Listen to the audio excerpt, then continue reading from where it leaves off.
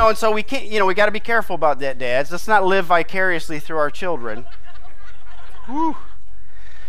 And uh, so, but th- but these are some of the influences of the kingdom that we don't even think about because it's happened so subtly, so quietly, so under the wraps. So you know, so in in uh, was it 1900? 90% of the world was thought to be in extreme poverty. 1960, 30% of the world was thought to be in extreme poverty. Today, 10%, 10 to 15%.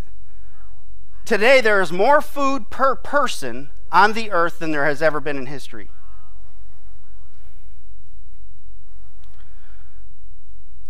Ninety percent of the world's population, 25 years old and younger, are now literate. They can read and write. That's never been the case before. And so, all of this, why, why is this happening?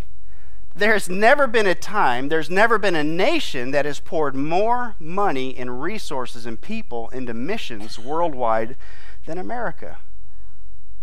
Do we have problems? Yeah. You know why? We got people here. You know, I remember when I was in the Air Force, I worked in the medical field, and I was like showing up at the hospital. I was like, man, this place would be awesome to work if there weren't all these sick people here. right, Alex? You know what I'm talking about?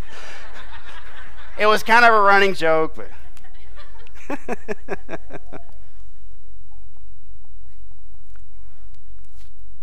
but literacy is way, way, way up. There's a thing called the Flynn effect, where every decade the aggregate IQ goes up three points worldwide.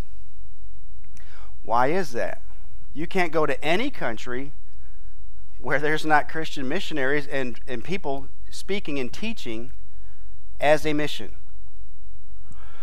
Today, the continent of Africa is thought to be 40% Christian. Now, are there places like Somalia and Darfur that have some tragedy? Of course, of course. We're talking now, we're talking averages here, okay? Every country will have its own statistics. But what I'm trying to do is give you the 50 foot level to recognize and realize the kingdom of God is an advancing kingdom. Look with me in Isaiah chapter 9. Isaiah chapter 9. This is a prophecy from Isaiah that's a messianic prophecy, five or six hundred years before Christ. We need to understand this. Just like I said, the language of the scripture, the language of the Spirit is type and shadow, parable, allegory, metaphor, imagery, patterns. Patterns are another thing you'll see in scripture. All right, also another thing to consider, I like to categorize thing, things. Scripture comes in several categories. One is historic, one is prophetic, one is symbolic, one is poetic, one is music. One is colors. One is numbers.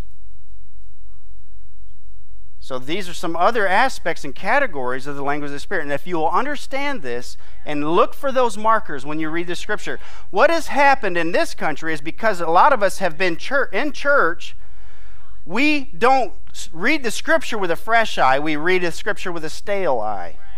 And when you read the scripture with a stale eye, you read into it rather than draw out of it.